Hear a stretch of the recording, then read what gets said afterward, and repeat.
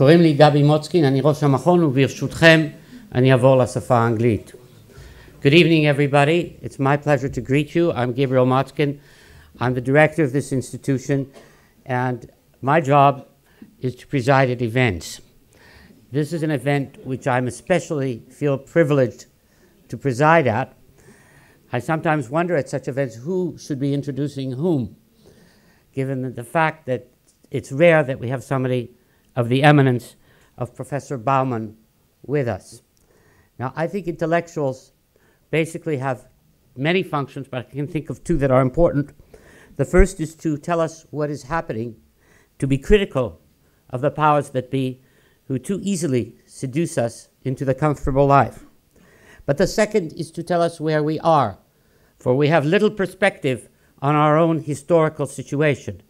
And that function is no less important than the critique of the powers that be. Very few people combine both of those. Eminently, Professor Bauman has combined both of those functions. Now, tonight, he is going to lecture us on crisis of agency or living through the times of interregnum. For if you wish to know, his lecture will be about 50 minutes, so compose yourselves. Professor Bauman, please.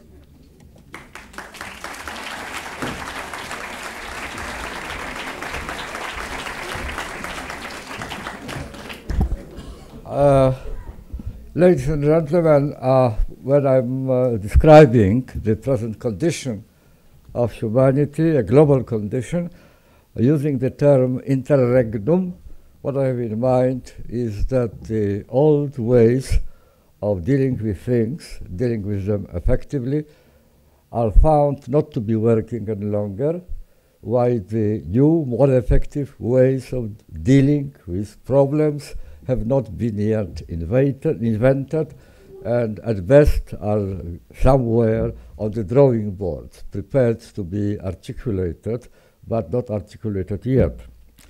And the, one of the most uh, conspicuous aspects of living under the conditions of interregnum, which we all painfully, to greater or smaller extent, experience in virtually every country of Europe, but also in other continents, uh, is the slow but steady erosion of trust.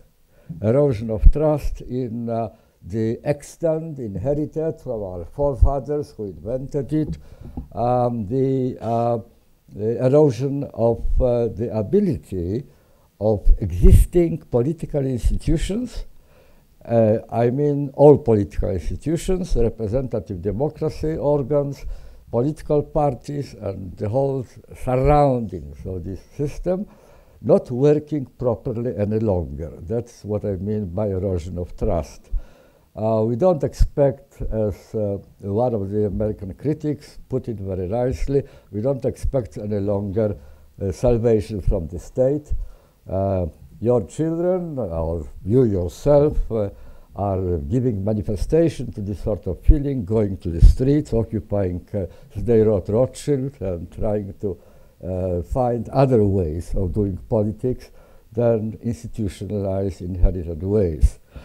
Uh, the is that uh, the political system as it does exist, mind you, I repeat, I mean political system, it is not just a question of losing trust in one or another political party, or suspecting one or another politician of corruption and inability, impotence, or whatever, or it is a question of lack of trust in the system as, as, as such, and its ability to face up to the realities of contemporary times and deliver, therefore, on their promise. And what I suggest to do, uh, that's what I want to dedicate my presentation to, uh, is to invite you to join me uh, into consideration of the historical roots of this present predicament. How come, how we arrived here, where we are now. And I'm terribly sorry because I start from ancient times, which are not part of necessary uh, daily knowledge. Uh, I have to go back as far as uh, 1555. Uh, well, it is, you know, considerably the amount of time. Uh, in 50, 55, the representatives of the Holy Roman Empire, uh, the France, Sweden, and some other uh, smaller dynasties ruling over Western Europe at that time, came together to the German town of Augsburg in order to find some solution to a very gory, very nasty, cruel local problem. Local problem of Christian Europe, not a general phenomenon. Local internal affair of global of Christendom, which has been divided by Luther, by intervention of Luther, into Reformation forces and counter-Reformation forces, and uh, was engrossed in murdering each other on a massive scale.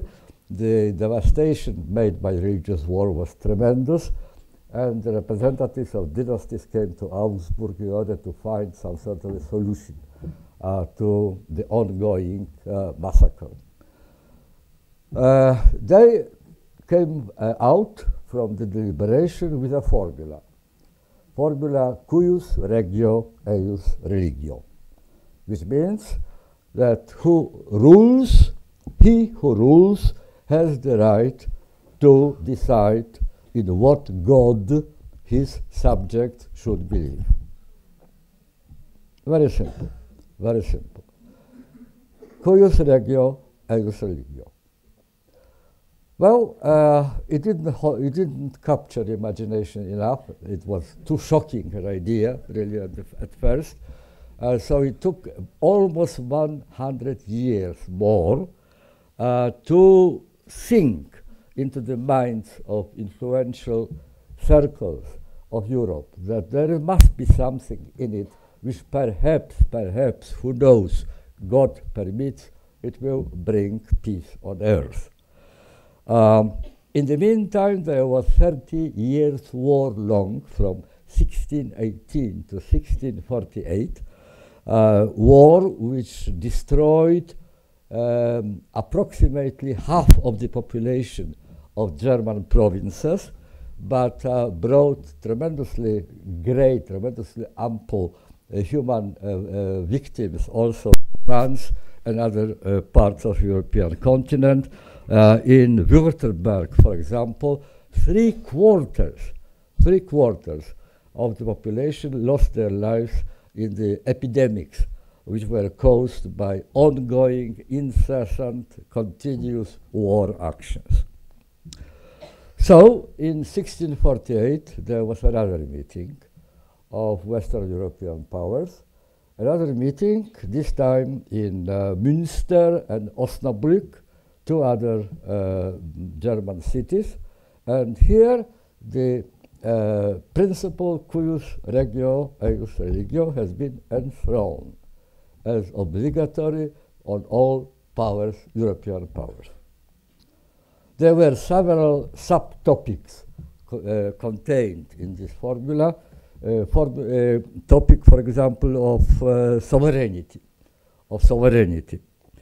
Uh, according to Stanford Encyclopedia of Philosophy, sovereign, sovereign authority is exercised within borders, territorial borders, but also by definition with respect to others who may not interfere with the sovereign governance. So it means, on the one hand, full power inside the territory ruled by a ruler, at the same time, prohibition to all neighbors and any other force to interfere in these internal affairs of the place. New idea, which was immediately afterwards uh, elaborated widely by greatest minds of Europe, like Machiavelli, like uh, well, Luther himself, uh, Jean Bodin, Jean Bodin particularly uh, produced um, 18 years after, after um, that conference in 1948, um, the um, tremendously influential, influential uh, book, De la République, uh, which became some sort of a Bible not only for the participants of the European um, religious wars, but also for the future, and that is the point tremendously important, for the future builders of the modern nation state, either the secular nation state, not a religious phenomenon, but nevertheless uh, taking over uh, the idea of uh, cuius regio eius religio with one only little change, unspoken change, but very, very prominent. Instead of religio, what was put there was natio, nation. New modern phenomenon, modern nation. Modern nation uh, which uh, have been, have, have become uh, in the modern uh, era, in the, or the, in the um, era of the two parallel processes, nation building and state building, intertwined with the idea of political state. They supplied the idea of national unity, supplied major legitimation on the ground of which the state uh, could pretend to have the right of demanding discipline to its decrees from its subject. On the other hand, the nation would be uh, toothless without a state, without a state, because uh, as Ernst Gellner, one of the greatest anthropologists of 20th century, pointed out, in the process of nation building, for every one nation which will emancipate itself into a state, there were at least 10 uh, competitors. And uh, only the one among them, one ethnic group, which managed to appropriate the, uh, the constructed um, the ap apparatus of enforcement, of coercion, Max Weber defined state as institution which has monopoly on the legitimate application of coercion. So if you have a monopoly, if you have monopoly and you appropriate the state which has this monopoly, then of course all other languages of all other ethnic groups which occupy the same territory are, are recast as dialects, which should be, uh, you know, uh, removed by uh, the school curriculum.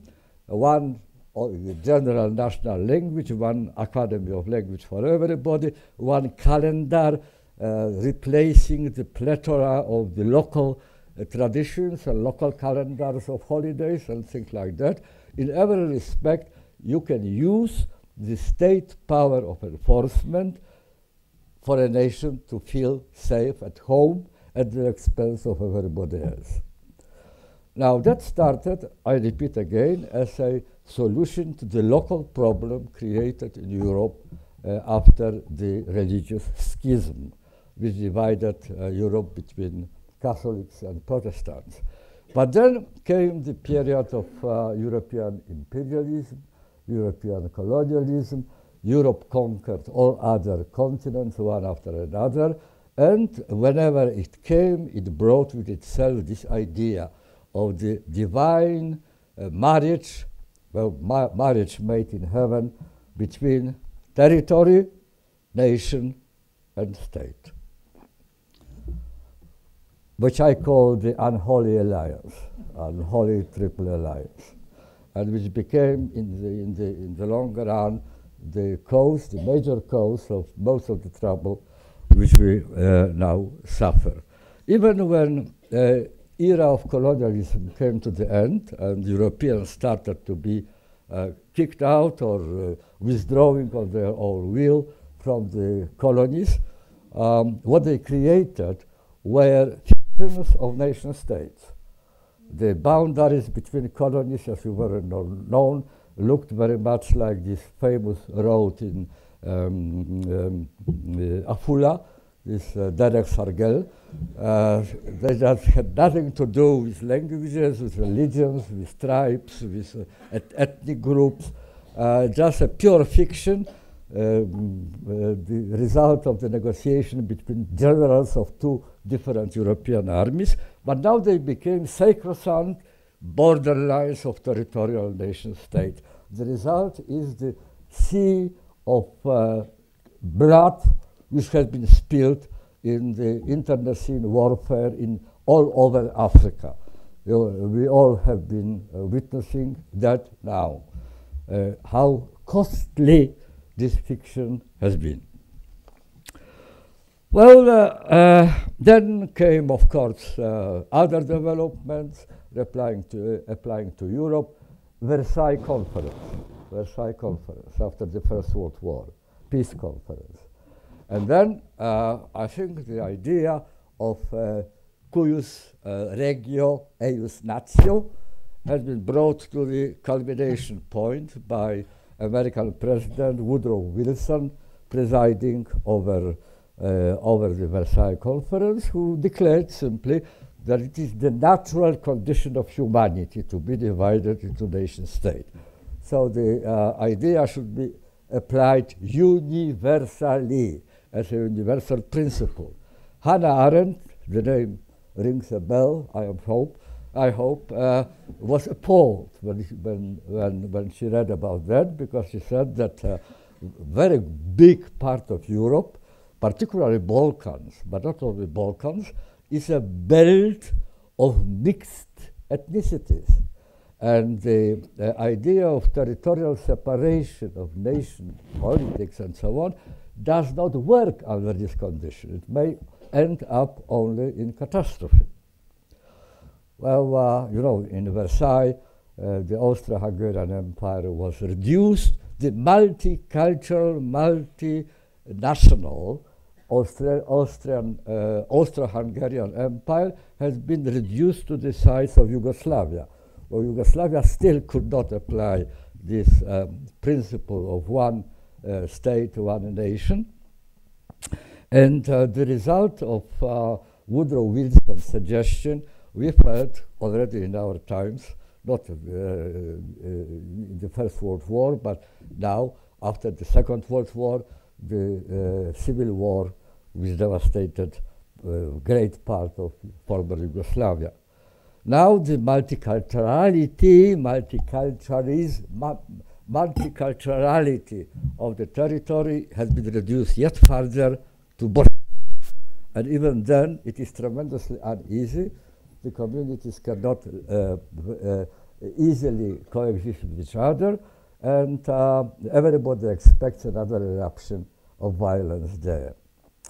It, the disruption of Yugoslavia, I don't know whether you remember or not, started from one very, very imprudent, uh, in a moment of, uh, uh, well, I don't know, distraction, statement made by uh, Helmut Kohl, uh, Kohl, the former Chancellor of Germany, uh, who said that Slovenia, Slovenia, one part of Yugoslavia, should be given independence because it is ethnically uniform. Just imagine how it should, how it could influence people who only waited to uh, cut each other's throats. It was as if confirmation, official confirmation fr coming from very high authority that if you want independence, please make some ethnic cleansing. And that's exactly what happened. Uh, ethnic cleansing, which uh, uh, costed quite, quite, quite a lot of uh, victims there. Well, this idea of created, born, first in Augsburg and then repeated in two Westphalian cities, um, Münster and Osnabrück, is still with us. We are living in the shadow of Westphalian settlement. It is binding. It is binding. It is written down in the laws of United Nations. United Nations were created as a reaction to the disasters of the Second World War, to the atrocities Second World War. So they, so yeah, um, at the very beginning, United Nations were instructed to tooth and nail the inviolable full sovereignty of every state over its subjects. And no one should interfere. There are two particular articles in the Constitution of the United Nations which underlie uh, this issue. We are living, for all practical intents and purposes, under this condition, really. However, it's a very, very big however. Uh, however, uh, the situation of humanity the social setting of the world has changed beyond recognition since the time when individually sovereign territorial nation states could pretend they are that have that they have economic, military and cultural sovereignty. No single state in the world can actually realistically claim just that. No single state, even the most powerful of them. Simply because in the course of uh, globalization, which is uh, going on for al almost 100 years now, we are all interconnected now. The distances uh, separating one's safety and security and warring factions now lost their defensive significance, their defensive meaning. Uh, we can act on distance, on enormous distance, on enormous distance in space and in time as well. So the independence, the separation, economic or, uh, or um, cultural or military of a single nation uh, is pure fiction. It becomes fiction, more and more fictional day by day. While the institutions, the institutions, political institutions, meant to deal with the problems arising in the course of the human co cohabitation are still living in the shadow of this idea of the territorial sovereignty of a nation state. Sovereignty, which uh, programmatically means also the uh, desire, the, the, the, struggle for some sort of an autarky, self-sufficiency. Self-sufficiency.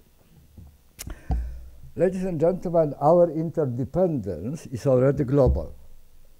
I'm not saying I'm, I, am repeating banalities. That's a fact of the matter which hardly anybody can uh, question. Our interdependence is already global, whereas our instruments of collective action, concerted action, and expression of will are as before local and stoutly resisting extension, infringement, and limitation. I call it in, uh, in oversimplified uh, abbreviation divorce between power and politics. Power, uh, ladies and gentlemen, is the ability of having things done. And politics is the ability to decide which things ought to be done. Now, um, around, uh, uh, um, and um, according to the Westphalian formula, and very much in the practice of 19th century, 20th century, it was like that, that power and politics were united in the hands of every nation state. Ability to do things and the ability to decide which things should be given preference over, other, over others. Uh, now uh, we are living through the divorce of the two things. Much of the power which was held by nation state now under conditions of globalization of capitals, globalization of finances, globalization of information, globalization of, uh, of culture, which moves freely over the um, in cross crisscrossing the globe um, informational highways. Now, under impact of all that, plus the impact of international nature of terrorism, international nature of uh, criminality, the global nature of uh, uh, drug um, pushing, the global nature of arms trade, and so on and so on and so on. Under all these influences, uh, we came to the um, situation in which much of the power which really influences our prospects of life, which really, which really influences the prospects of our children to get employment, and to make a life career and to lead a decent life and so on, so on, much, great part of this power evaporated from the level of nation state up into the uh, cyberspace, into the global space, no man's land, free from politics. Because politics was left behind where it was 20, 200 years ago, in the localities, in capitals of the territorial nation state, which, according to the definition of sovereignty, have rule over their territory, but at the same time, uh, uh, the, the, uh, sign, sign, show the limit of, uh, uh, of the decision, of the, of the obligatory nature of the decision made inside the given nation state. So we have, ladies and gentlemen, a discrepancy. Discrepancy between power and politics. Whatever we have of politics uh, is not much to the power, uh, which is already much more extraterritorial. Extraterritorial. Simply, the locally based powers do not do not match the enormity of the global powers. We have, ladies and gentlemen, the moment on the one hand, powers which are emancipated from all political control. And on the other, we have politics which is suffering constantly of deficit of power. And therefore, it needs to surrender many of its intentions. It is, it is becoming known more and more for not delivering on its promises simply because there is not enough power in the hands of the political institution of the state to, uh, to see through uh, their intention. Well, now a little bit switch to a slightly different theme, but only slightly. Uh, what's happened in Europe? Well, very close to Israel the Euro European continent, which was known of sovereignty being developed by every country by fighting its neighbors. Uh, Europe, in its, uh, most of its history, was known as arch master of, uh, uh of uh, making enemies around. I remember from Poland, mind you, uh, before the war. I, I lived already before the war. I lived too long, and I remember uh, being frightened as a child, among other things, by the fact that uh, all that Poland was surrounded on all sides only by enemies, not a single friend. Uh, the idea of crossing border, you know, without any without any permission or special efforts, well, seemed to be co completely fantastic. Uh, now, uh, after the war, people like uh, the Schuman, Monnet, Spaak, Adenauer, de Gasperi, who came together to create, first of all, to start from the kitchen, not from the public places, not from the public meetings, but from the kitchen. They started from bringing together coal and steel production. Uh, once that is brought together, then, ha, try to make uh, German tanks or uh, French tanks. It is impossible. Uh, the, the, uh, the, the industries are connected. But anyway, the idea of, uh, of slowly, slowly, steadily unifying Europe and leaving behind the centuries of mutual enmity. Now, that was the idea which uh, guided the minds and also the deeds of people who are, uh, whom I named um, and um, uh, uh, those people who supported them. The idea of building of a pan-European transnational solidarity which would unify the historically created and long established local solidarities, which for hundreds of years reasserted their identities by stirring up and stoking the fires of discord among their uh, uh, with their neighbors. New idea, going beyond nation. Europe as a transnational, overnational institution, political institution, the first in history. Until now, until, until then, all uh, political institutions were national. Now, going beyond that. Experiment worked.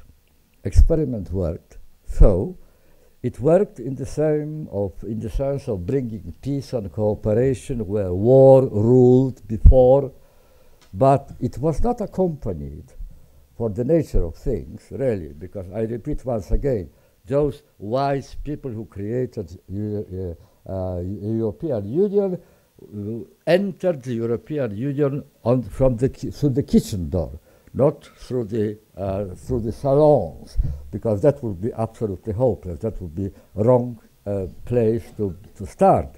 First of all, one needs to bring together, to fuse the horizons of people by realities of their daily life, and then you can develop uh, poetics, romantics of solidarity, unity, loving each other, and so on. That's what they have done.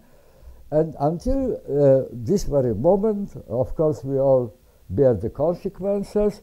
Um, uh, people are alarmed, and quite rightly so, that the economic unification of Europe was not followed by the development of European solidarity. European solidarity the feeling that uh, identity, my first identity is European, for example, and because Europe is hospitable to every nation, to every language, to every culture, I feel at home in the big of Europe. Now that is the still a question of future. Some people say it is impossible. They are too much used to the tradition of, uh, of bringing together identity, territory, and nationhood, that they don't believe that you can build a feeling of solidarity on any other basis as the ethnic differences, ethnic idiosyncrasy. One of the uh, most active promoters of the opposite idea is, um, as you probably know, um, uh, Jürgen Habermas, the great living uh, German philosopher, who coined the idea of constitutional patriotism.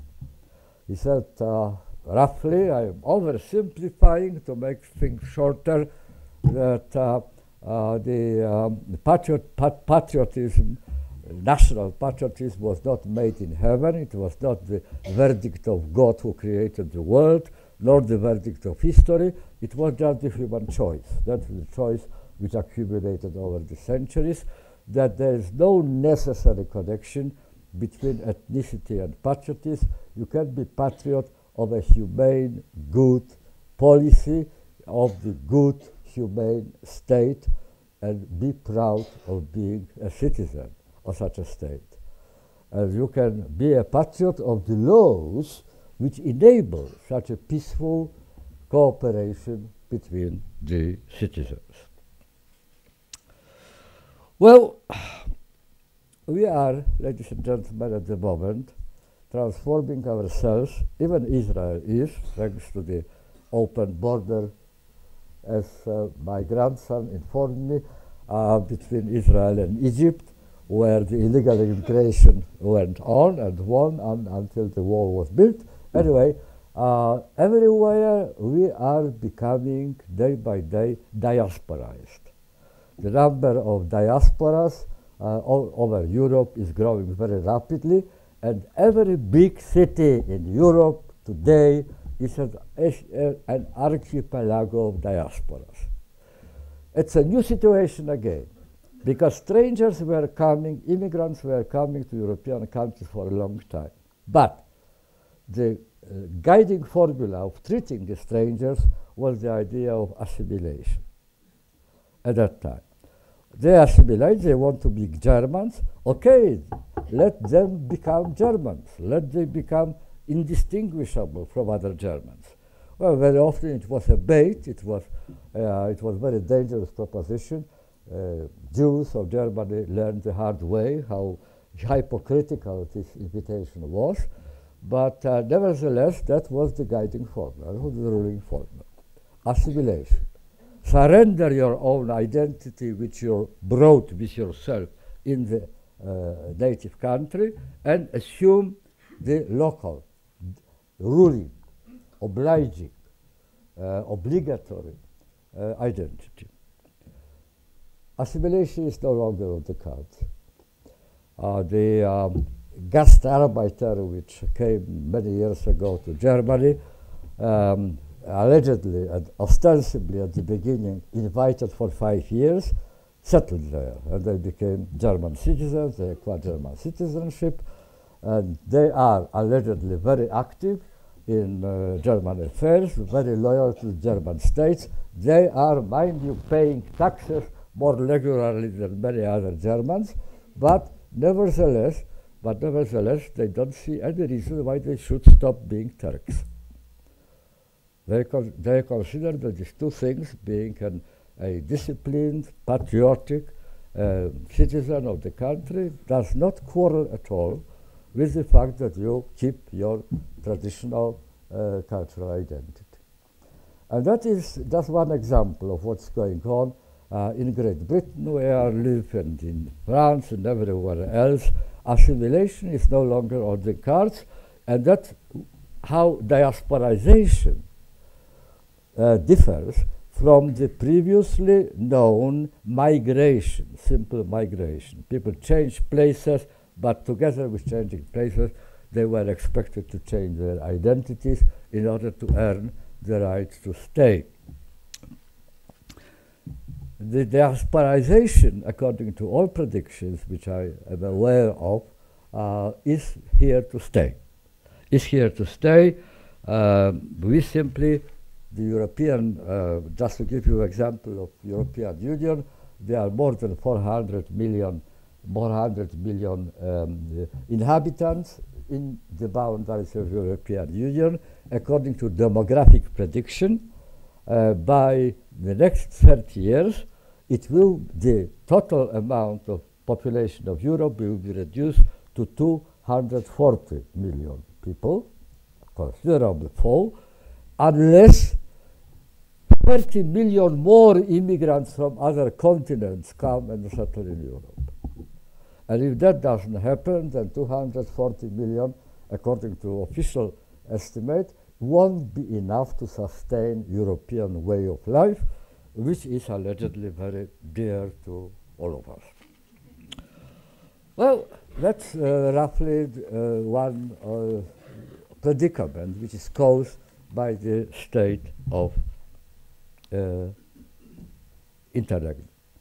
And the last question which I want to ask all of us to consider is whether that is the only, whether living in the shadow of Westphalian settlement is a some sort of a historical necessity, unavoidable, irreparable. We are doomed to that, with all the consequences which follow uh, being exposed daily to this devilish, unholy alliance between territory, uh, ethnicity, uh, and, um, and culture, uh, and, uh, and sorry, and, and the state, um, or whether there are other ways. Uh, the South African, South African writer, great writer, great philosopher, Coetzee, I very much hope that you, it's a very well-known name to you, uh, who uh, observed at close quarters the consequences of apartheid uh, in uh, South Africa, pointed out to us that uh, if we want war, we can go to war. If we want peace, we can live in peace. It's our choice. To a very great extent, he is right. And uh, I, as a sociologist, I'm in business currently trying to show how to how that is likely. I, am I'm not uh, uh, giving any recipes to you. I, am far from reaching any conclusions, but um, I want again to go a little bit back and see whether alternative ways of polycultural, peaceful and useful and mutually beneficial mm, coexistence was possible. Now, the longest lang uh, is existing empire in history, as you probably know, was Roman Empire. Roman Empire lasted 600 years. Just imagine, 600 years. Why? According to Titus Livius, the secret was very simple. They didn't conquer the other territories and other peoples. They gave them the Roman citizenship. So instead of humiliating them and trampling on their heads, uh, they, on the contrary, they lifted their self-esteem. They became, they offered them the citizenship of the most, uh, the, the, the, the, largest um, power on earth at the time. They adopted their gods, local gods. They put their uh, sculptures in the Roman pantheon. They elevate, elevated the local, they didn't destroy the local gods, they elevated them to the co-gods, cooperating gods of the empire. And uh, that is why, that is why uh, the uh, Roman Empire, according to some opinions, lasted so long. And according to the same opinions, it, brought, it was brought to an end by the imposition by the uh, Christian emperors the obligation of one religion, of one religion. The first application of the principle of cuius regio, eius religio. But that was ancient example. Let me go to closer to our time examples. Uh, the place from which I arrive, uh, the former Republic of two nations, Pol Polish and Lithuanian, Lithuanian, which lasted several centuries in the cooperation and many religious faiths, many religious faiths, many ethnicities, many tra cultural traditions were living, cooperating with each other and combining into setting in motion of the whole social political system of the of the country. Um, well, um, that came to an end. That came to an end. As you know, there were three more powerful countries around Poland, and they divided Poland into three parts and started poli policy of Germanization or Russification, depending on the place where they lived.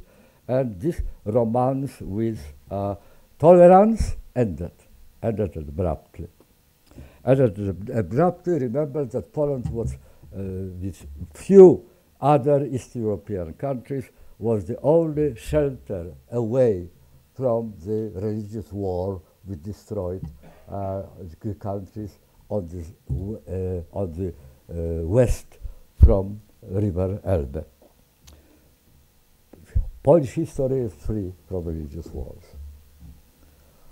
Well, uh, it ended with the division of Poland between three powers, but uh, in other places of Eastern Central Europe, that experiment, that way of life, quite successfully existed for a relatively long time.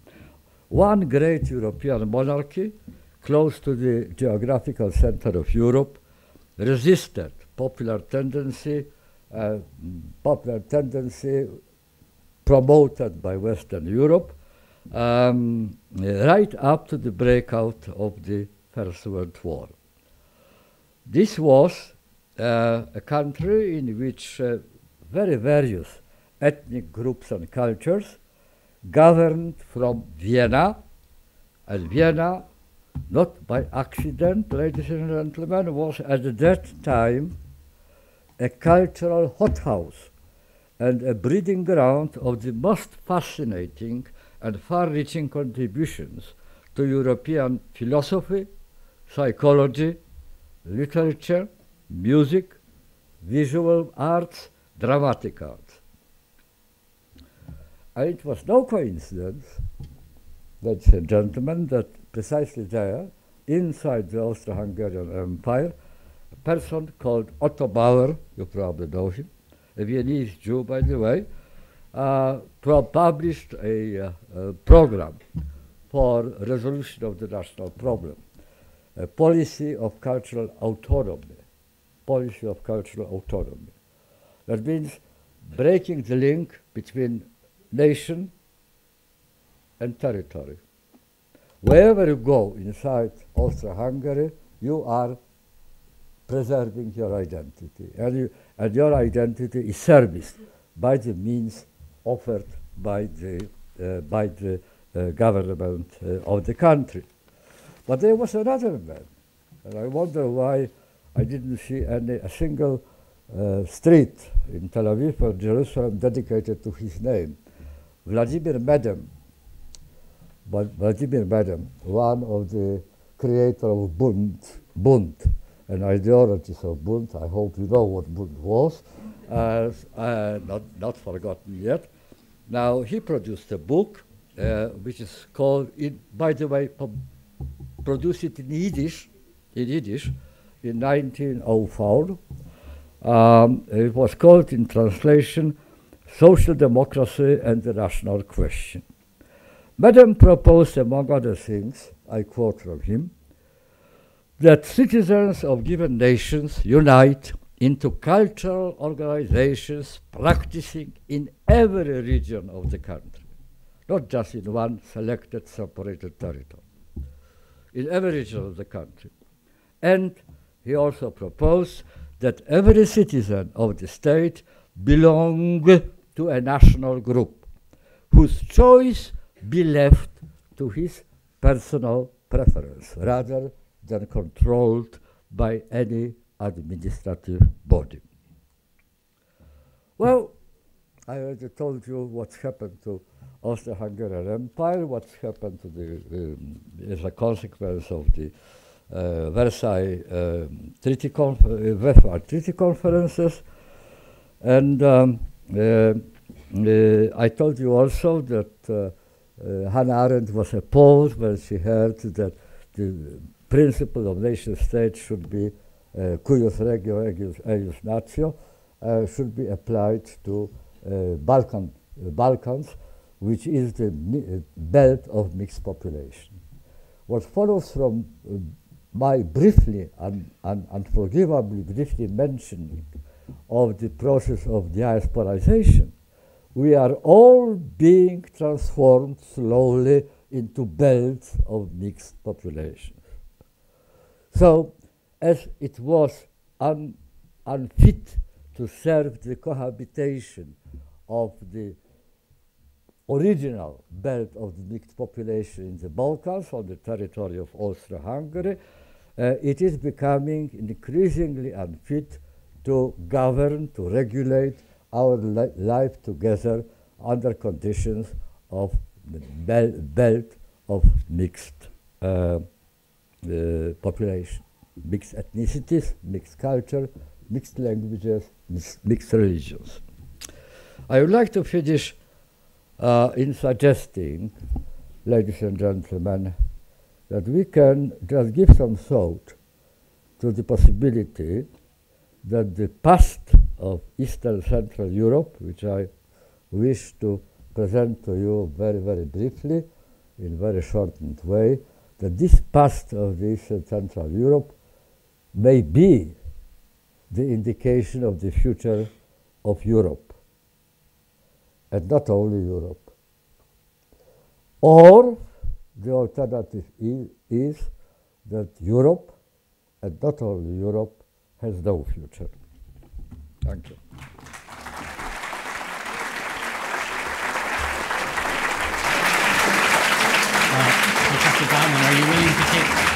Willing to take questions?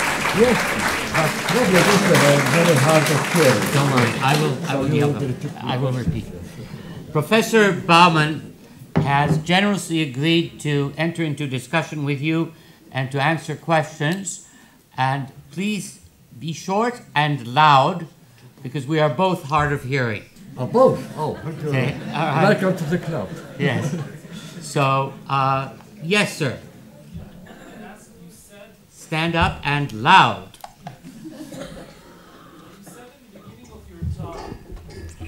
One moment. A microphone, ah, even better. No, there is no. Yes. No passage. You said in the beginning of your talk. I, I, yes. Watch out. That's very steep there.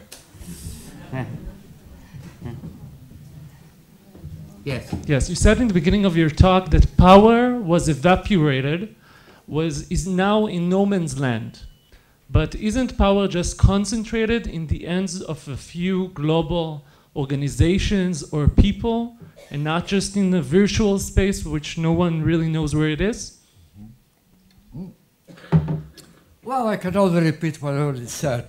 Uh, the organization with logos are uh, uh, easy to describe and they are profusely described, but there is quite a lot of clandestine globalizations, which is much uh, more difficult to, to capture. Well, the problem is that we are, I, I spoke about globalization. It is not exactly a precise uh, term. It may be misleading because uh, we have not a global globalization process in front of us, but what I call the negative globalization, which is not supported, not followed by what I call the positive globalization. What I mean by negative globalization, globalization of forces which specialize in ignoring local custom, local preferences, local laws, local expectations, and so on, which cross, who cross the boundaries between states at ease without, uh, without asking permission, and uh, which in all other respects undermine even further the uh, alleged sovereignty of the country. What are these forces? Uh, such forces which ignore the local preferences, local customs, local expectations, or whatever, they are, I, I repeat, um, uh, uh, financial capitals, investment capitals, uh, uh, commodity, commodity trade, um, information, of course, um, but uh, cultural offers of all sorts, uh, which come to you from the screen um, of um, of um, your uh, laptops or uh, notebooks, uh, gray, um, well, with the help of Mark Zuckerberg, who created Facebook for your users. so you have so these forces ignoring and undermining sovereignty of every local um, body uh, are already globalized. Together with other similar, in this respect, similar uh, um, powers, like power of criminality, power of mafias, power of uh, drug trafficking, power of um, arms uh, trade, and so on, which also behave exactly in the same way, and we had, which has also have also developed vested interest, vested interest in undermining and ignoring and neglecting the differences between different nation states, different territories, different populations, populations or whatever. That's negative, um, uh, negative um, globalization. And I mentioned that positive has not yet started in earnest. What I mean by positive globalization is the attempt to remarry power and control but this time on a global level, because remarrying them on the local level is no longer on cards. Creating truly global institutions of political control over caprices, over, uh, over uh, surprises, which are constantly created to all of us by these free floating in the cyberspace powers. Now, uh, we don't have a single truly global institution. We don't, don't, uh, don't confuse, please, global politics with international politics, because international politics is in actual fact an intergovernmental politics. Some ministers come for a few days together to Davos or other places like that, very pleasant places otherwise, and, uh, and make ad hoc agreements uh, to resolve one issue which, uh, which, uh, which worries them all. But their decisions have no legal power. They have no legal power. Just imagine in Jerusalem, there was a uh, there were rules for the uh, street traffic which say that red light is on red light you must stop if you sign the convention. But if you didn't sign the convention, you are free to move wherever you go. Just imagine how nice would be life in Jerusalem. But that's exactly the situation on the global scale. We don't have global institutions able to uh, oblige uh, the world to uh, renounce on certain harmful, victimizing procedure which they uh, uh, resort to. I put myself next on the list, and I think we have a series of questions. I'm uh, writing them down. Here's my question. You portrayed a wonderful utopia of mixed populations and universal rights. Because obviously, in that kind of situation, you would have to have all national groups be equal. But in Austria Hungary, that wasn't true. As you know, the Germans, in the part that was Austria, had the upper hand against the Czechs, the Poles, the Ruthenians, the Slovenes, and the Hungarians had the upper hand against the Croats, the Romanians, and all the other peoples. And that's just not even beginning to say how many groups there were. So you, uh, and if you think of the Turkish Empire, the same thing arose. In other words, the centers of power were manipulated by a dominant nationality in order to continue its control. Now, how are you going to prevent that from happening on a global level? Well, if you have a bed of roses, you must to agree to thorns because there are no roses without thorns. Yeah. Uh, there was an attempt to make uh, cohabitation uh, possible under conditions of being surrounded by uh, all other territories in which the Westphalian formula was uh, almost treated like part of the Bible. It is, you know, divine decision or historical decision. You can do not pretty nothing about it. No wonder that people looking the, across the border uh, could uh, uh, dream about applying to themselves if once they got the superiority over other nations, relative superiority, um, uh, to expand their influences at the expense of others. That was the way in which things have been done in Europe, throughout Europe, until, until Europeans can, yeah, as they do now, move, uh, you know, uh, uh, easily from one country to another, find employment where, where there is employment waiting for them, where they can develop their abilities to the best. And retaining their nationality, retaining, retaining their identity. There are over one million of Poles in uh, Great Britain today.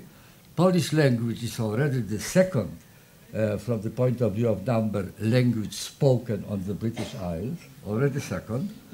And, uh, uh, uh but I, I think that to some degree, the Poles who settled on British Isles anglicized, but they are also at the same time polonizing the landscape of Britain.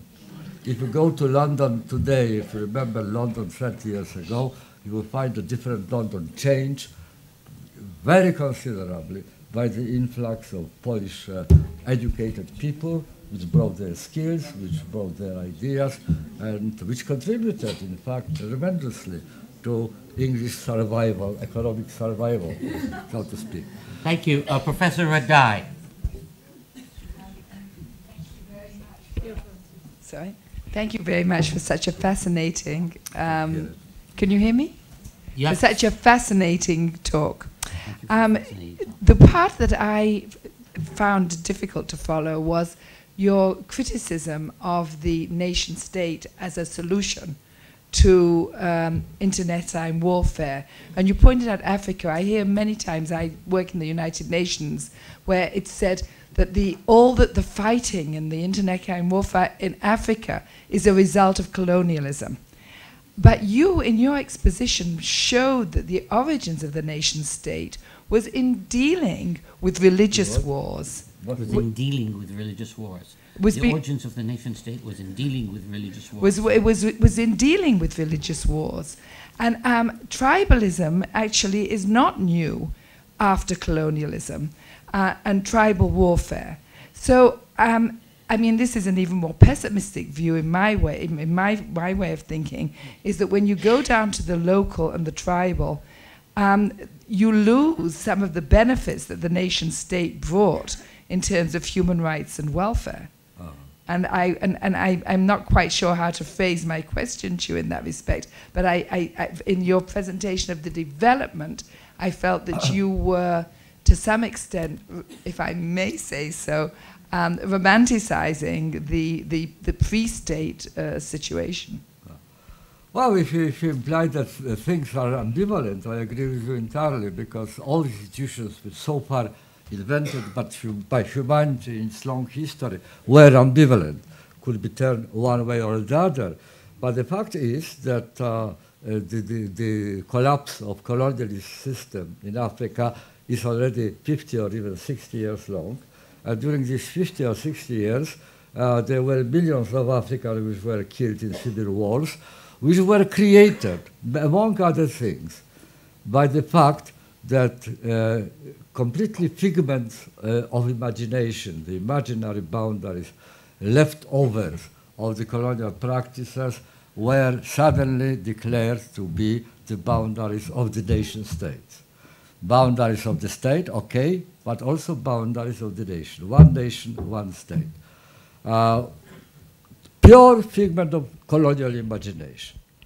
The uh, fact that there were genocides, there that civil wars are still going on in some part of the Africa, that quite a few uh, states inside Africa already collapsed as states and are quasi-states, are uh, not working, ineffective states. Now all that is the product of applying imaginary artificial solution to the real, genuine problems of the place. Now, uh, the globalized, even the positively globalized uh, planet uh, will be highly differentiated, will remain highly differentiated. I'm not suggesting that uh, on the card is a global culture. I think it's, it's unthinkable. I think that uh, humanity will be collection of diversities, of diversities.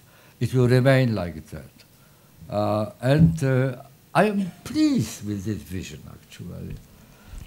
Excuse me, I, I quote again Hannah Arendt. Uh, Hannah Arendt wrote beautiful essay on, um, uh, on uh, men uh, in dark times. Well, she described our times as dark times. In darkness, you see only few inches in front of you, but what is far away, you can't, you can't see. So that is a very good metaphor. But one of the essay there in this book is the essay on uh, God, God, um, Gotthold uh, Ephraim uh, Lessing, one of the pioneers of German Enlightenment. And Hannah Arendt adored him, considered him one of the greatest minds of in history. Why? What, is the, what was the argument? First of all, he was the first philosopher of enlightenment at the time when other philosophers of, of enlightenment uh, anticipated unification, universalization of the Western um, patterns of cultural life. He was the first to have the courage to acknowledge that differentiation of humankind will remain with us permanently. It is irremovable. But not only that, she praised him also for the fact, and pre predominantly for the fact, that he actually enjoyed the prospect.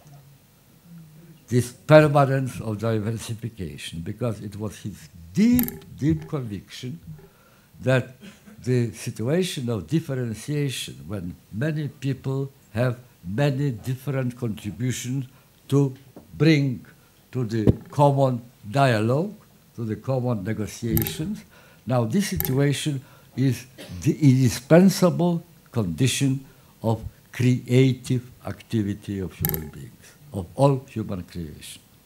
If not for that, if not this you know, clash of differences, if not this uh, uh, diversity of the solutions offered to problems, we will be probably sitting somewhere in the Paleolithic times not in one clear, beautiful building, but uh, in caves. Dr. Bashir.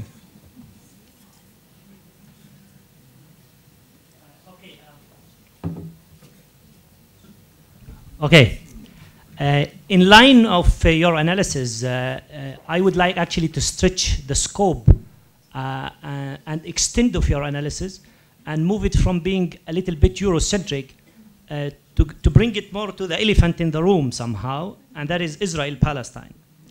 And if, if I were to take your analysis, and I would agree with large extent of your analysis, um, I, think there are some, some ways to problematize your analysis, but if we were to buy into your, your, uh, your thesis, uh, which suggests that there is a new grammar of politics and power that is emerging, which is largely breaking up with the Westphalian uh, tradition and paradigms and moving to a new post-Westphalian paradigm, through which at the center of that we are inviting to rethink sovereignty, self-determination, partition, territoriality. So if we were to observe that one of your main suggestions is that we are actually becoming more and more intertwined, and we are becoming interdependent. That's basically one of the main lines of your argument, as well as that one of the things that you were suggesting is the previous paradigm, i.e. the Westphalian paradigm, was premised exclusively on the paradigm of partition. If we bring this into the context of Israel-Palestine and take Jerusalem where we sit right now, which exemplifies the microcosmos of historic Palestine in which the Arabs and the Jews are intertwined by they actually separated and governed by basically oppression and discrimination, then what is your account on basically the tyranny of statehood that has been and the paradigm of partition and the two-state solution that has been governing and policing the politics of Israel-Palestine for the past 30, 40 years? Thank you. He wants to know how your What is- what is paradigm. the question? The question is how does your paradigm, how does your paradigm apply to the Israeli-Palestinian conflict, and how would you see, you know, your paradigm applying to this? okay, everybody. Professor Bauman understands the question, so let's hear his answer, please. Uh, well, uh, I can admit that quite recently I was a, uh, I had a dream, and which I consider to be a nightmare. I was uh, I woke up uh, covered with sweat, really, uh, and the dream was that I was called to join the government. So I, I share your doubts. I share your doubts. It, I am not pretending that uh, I'm far from even imagining, not, not, not just daring to pretend, but imagining in my, deep in my heart that I have a solution which is free, which is flawless, uh, which is free from uh, uh, well, possible uh, uh, protest, dissent, that it wouldn't work. It is not is a road leading nowhere. That's right. Every proposition you make here is not free from some dangerous aspect. There's an absolute question. But no wonder that it is like that, because we are almost 60 years after the beginning of occupation. So what would you otherwise expect? Would you, would you, would you expect a straightforward road to, road to peace? Facts have been done. Something happened on both sides. Uh, what I call, after Gregory Bateson, the schismogenetic, schismogenetic chain, namely the uh, policy on both sides of the barricade, guided by the principle, whatever you do, I can do better. You can pain me, I can pain you even more. Now, that sort of a politics is unfortunately leading nowhere to mutual destruction. And the only way of, sa- of saving our lives, uh, of saving our dignity, of saving our humanity is to cut it at some point. For the time being, the logic of coexistence and in, under condition when one coexistent occupies the other coexistent uh, is such that uh, it leads to less and less communication on both sides. I protested against the wall simply for reasons that it is a symbol of the breakdown of communication, breakdown of dialogue. If you build an eight meter uh, high wall what you want to announce to the world, I have nothing to do with you. I'm not listening to you. Uh, what, who is on the other side is irrelevant uh, to whatever I'm going to do. Now, we created this logic of self-enforcing enmity. Instead of creating the beginnings of self-promoting, self-enforcing, self-propelling uh, negotiation and agreement. It's very easy to say that it looks hopeless. Look, right, we have made it complex, uh, hopeless. I agree with that completely. And under this much worse, much more difficult situation than they were 50 years ago, I think we should at least belatedly, but try to engage in a dialogue. The, um, the uh, Mar Odo Marquard, the uh, uh, German philosopher, very great philosopher, living currently and writing currently, and I advise you to read uh, his books. And first of all, to translate into, into Hebrew. Absolutely. And uh, uh, well, he pointed out that if there is one truth, one truth only, proclaimed by each side, confronting each other, then it will come to fisticuffs or to the bloodletting. But when there are two truths, that means assumption, assumption that maybe my raison d'etre is not the only one. Perhaps I am not entirely uh, in the right. Perhaps I'm, I, I am mistaken. Perhaps the other side has some wiser solution to the problem. Now people come instead of shooting each other, to talking uh, to each other. And even jokingly, Odo Marquard uh, derives, uh, derives the uh, word of Zweifel, German word of Zweifel, from the word zwei. And he said, well, when there are two equal partners, then the doubt arises, and one doubt arises that you don't have the arrogance to press your own unique, un, un, un, uh, unshared wisdom. You okay? The gentleman in the back. Yes, that's you. Does he have a mic? Can we get him a mic?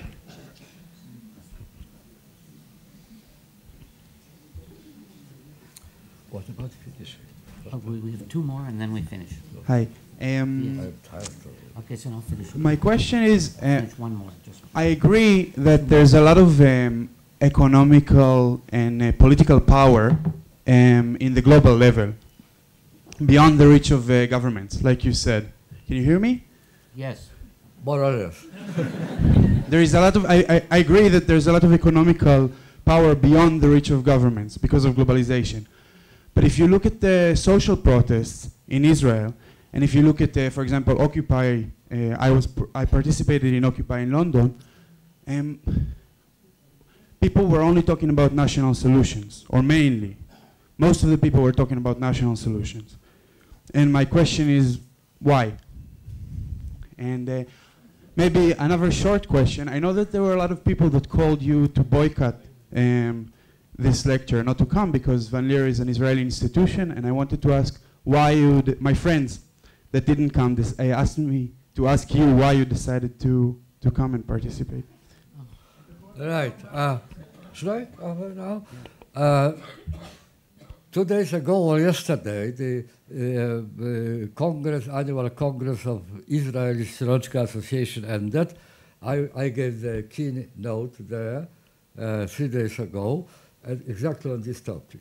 Uh, it was a long uh, uh, lecture, more than one hour long. You don't expect me to repeat it now, but um, really, I agree with you completely that one consequence of the 60 years old almost occupation is the fact that Israel neglected its social problems and allowed it to accumulate, was busy with something else completely, shifted quite a lot of funds, the equivalent of the total amount of uh, dedicated to education in Israel, the total amount dedicated to health service, uh, in Israel shifted equivalence of that to military purposes.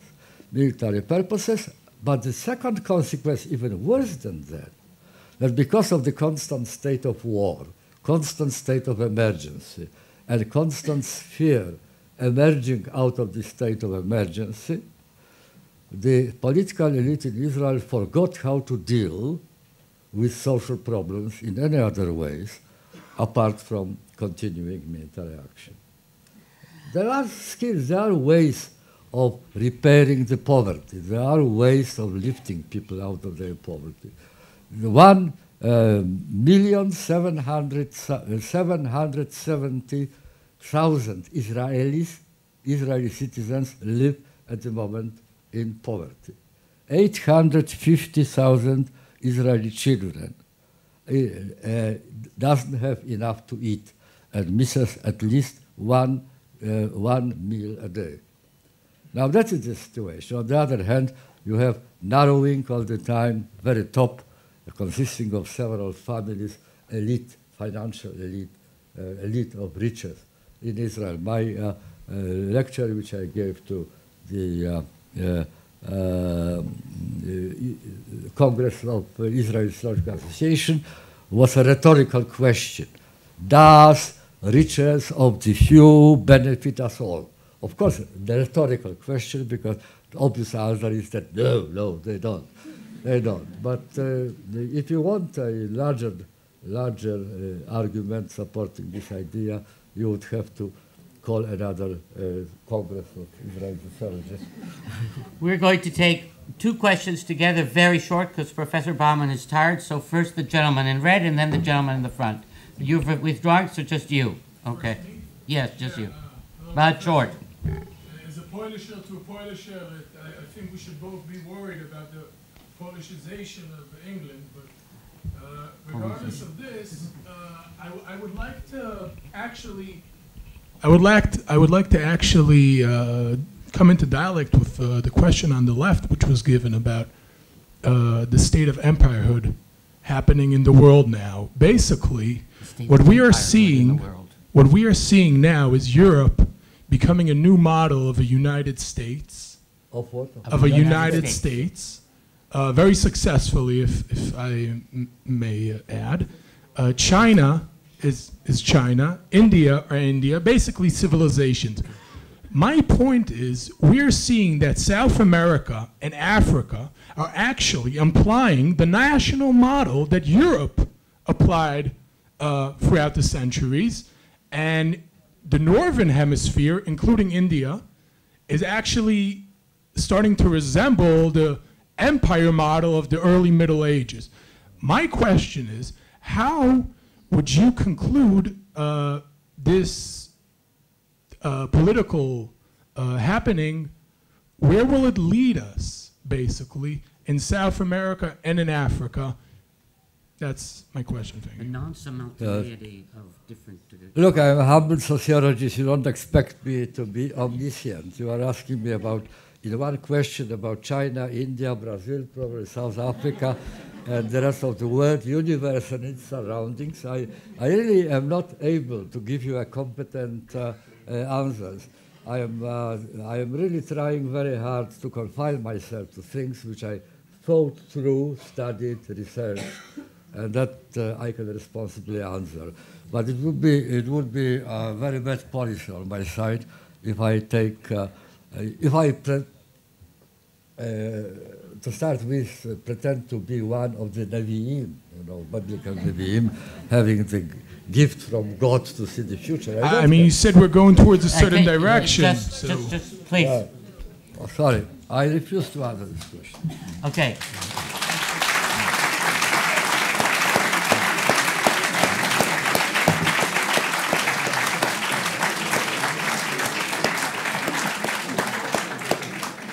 Well, we thank you all. I wish to remind you that there are, you can also go out through these doors and not only through the back doors. You'll get out more quickly.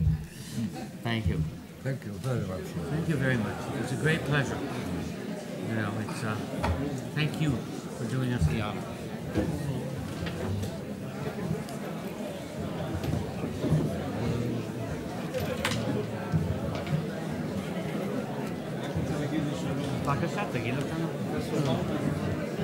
Itzhak Galnoor, and you may remember that many years ago you contributed an article